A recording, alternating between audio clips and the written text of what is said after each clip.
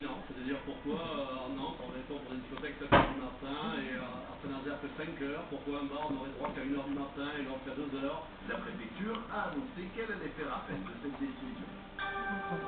L'ambiance est à la fête dans de nombreuses casernes à la veille du 14 juillet. Les traditionnels